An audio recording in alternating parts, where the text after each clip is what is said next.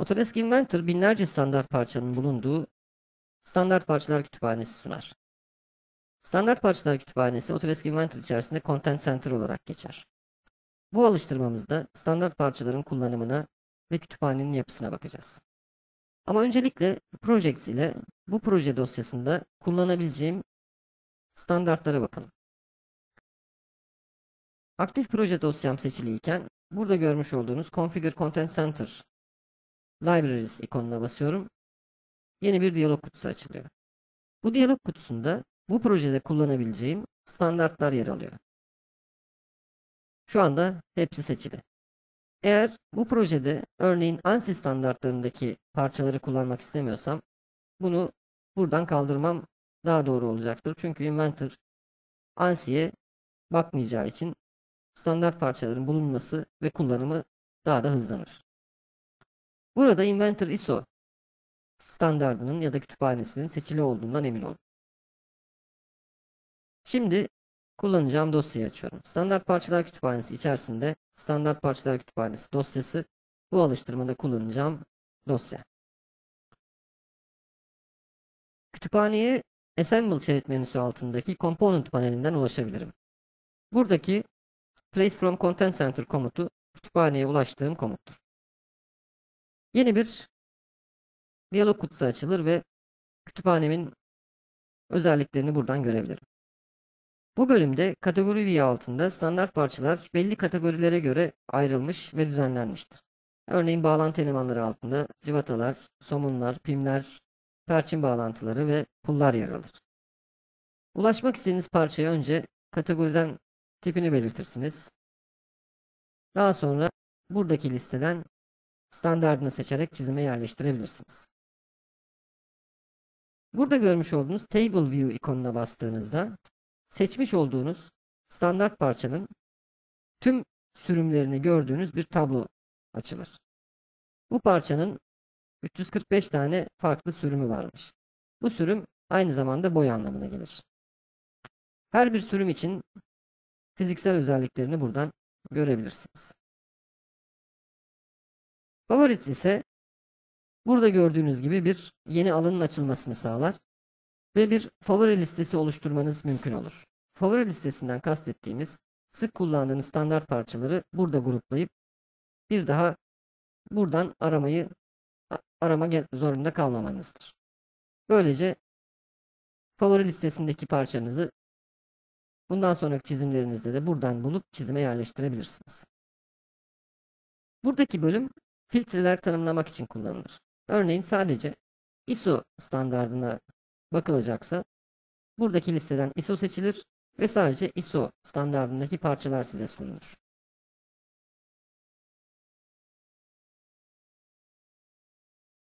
Favori listemi oluşturayım ama öncelikle yeni bir favori listesi tanımlamam lazım. Bunun için burada gördüğünüz oka basıyorum ve Add New Favorite Group diyorum. Mil parçaları isimli yeni bir grup oluşturalım. Şu anda grubum boş çünkü henüz bir standart parça yerleştirmedim. Kamalar altından favori listeme ekleyeceğim kamayı buluyorum, işaretliyorum, sağ tuşa basıyorum ve Add to Favorites ile favori listesine ekliyorum. Bu standart parçayı çizime yerleştirmek için çift tıklıyorum. Şimdi boyutlarını tanımlayacağım bir diyalog kutusu açılacak.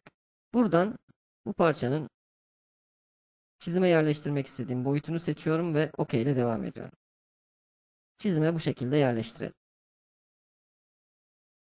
Şimdi bir rulman yerleştireceğiz ama buradaki parçam biraz görünürlük anlamında bizi engelliyor. O yüzden bu parçayı işaretliyorum. Hızlı ulaşım menüsünden burada gördüğünüz oka basıp parçanın rengini saydam bir renk olan cam olarak değiştiriyorum. Böylece rulmanın yerleşeceği kenarı daha rahat görebilirim. Yeniden kütüphaneye gidelim.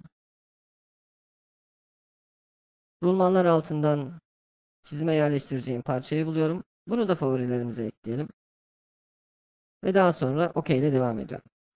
Şimdi Autodesk Inventor'ın Auto Drop dediğimiz otomatik standart parça yerleştirme özelliğini göreceksiniz.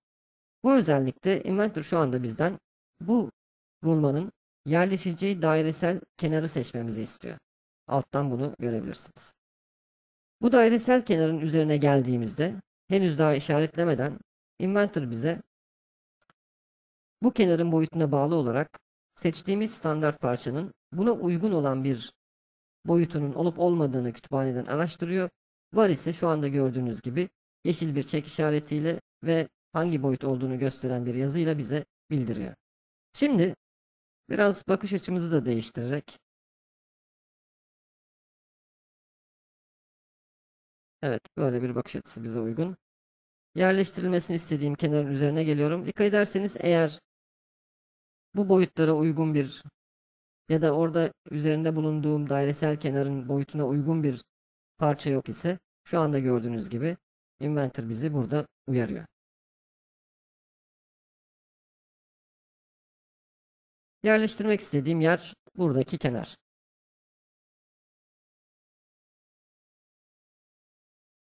Yerleştirme için bakış açımla oynuyorum. Burada özellikle sağ tuştan Select Other ile tam konumunu daha rahat gösterebilirim. Bunu seçeceğim. Daha sonra yine sağ tuştan Select Other diyorum. Ve dikkat ederseniz bu seçiliyken devam ediyorum. Şimdi dikkat ederseniz parçanın üzerinde bizim 3B gripler olarak daha önce gördüğümüz oklar çıkıyor. Bu okları tutup çekiştirerek çap değişikliğini ya da ilgili standart parçanın hangi özelliklerini değiştirebiliyorsanız onları değiştirebilirsiniz. Autodrop kutucuğunda kabul ettiğimi söylüyorum. Hangi boy olacak onu gösteriyorum ve OK ile devam ettiğim an standart parçam çizime yerleşiyor. Bu şekilde çizimde kullanacağınız standart parçaları çok kolay olarak kütüphaneden seçer. Özellikle AutoDrop gibi bir özel işlemle ya da yöntemle de çizimi hızlı bir şekilde yerleştirebilir ve aynı zamanda montaj sınırlamalarının da atanmasını otomatik olarak sağlayabilirsiniz.